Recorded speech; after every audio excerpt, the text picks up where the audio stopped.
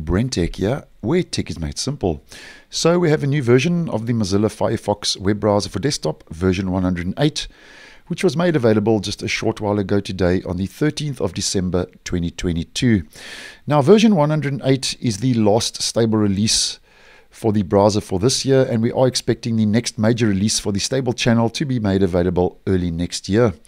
Now, for version 108, there are four new features that have been made available a couple of bug fixes, a change, some developer improvements, and then we get those all important security fixes, which we will take a look at near the end of this video.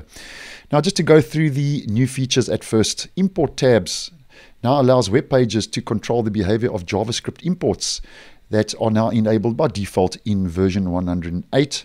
And there is also a new feature that is only rolling out for Windows 11 users, where processes used for background tabs now use efficiency mode on Windows 11 to limit resource use. So, just to do a quick recap as to what that's all about, if we head over to the Task Manager on Windows 11, and we head over to Firefox and expand that. And if we click on any of these background processes running in the browser, we can now enable efficiency mode that will limit resource resources used by those different background processes running in the browser now. So um, efficiency mode now supported for Windows 11 users for Firefox version 108. And then um, the process manager now can be accessed using shift and escape on your keyboard. So that's a new keyboard shortcut combination that's been made available now by Mozilla using shift and escape. That keyboard shortcut now opens the process manager and according to Mozilla now offers a quicker way to identify processes that are using too many resources. So shift and escape now available as a keyboard shortcut to open the process manager. And they've also improved frame scheduling when under load. And according to the release notes, this will substantially improve the browser's MotionMark scores. So that's two new performance features that have rolled out um, as two new improvements for the new features in this latest stable release. Now, just to have a quick look at the bug fixes, there are three bug fixes in total.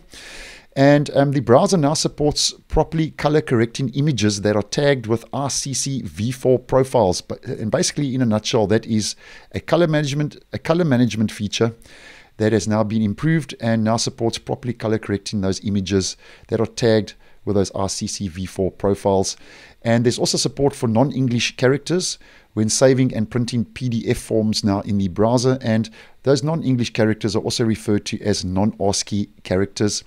And then um, just to demonstrate this last bug fix, um, Mozilla says that as before, you can now change the bookmark toolbar's behavior using the toolbar context menu. So if we just right click on that and we head to the bookmark toolbar in the context menu, um, only show on new tab um, now works correctly um, for blank new tabs according to Mozilla and the, and the release notes. So that's a bug fix that has been rolled out now for the bookmark toolbar's behavior. And then um, as mentioned, there is a change, and um, Firefox now supports the Web MIDI API and a new experiment experimental mechanism for controlling access to dangerous capabilities. Now, that's quite a mouthful. But the long and the short of that is basically that Web MIDI API support um, allows Firefox to connect and interact with MIDI. And that means that's a musical instrument digital interface. That's what MIDI stands for. And it allows the browser to connect and interact with devices attached to a PC. So that's um, Web MIDI API support now in version 108.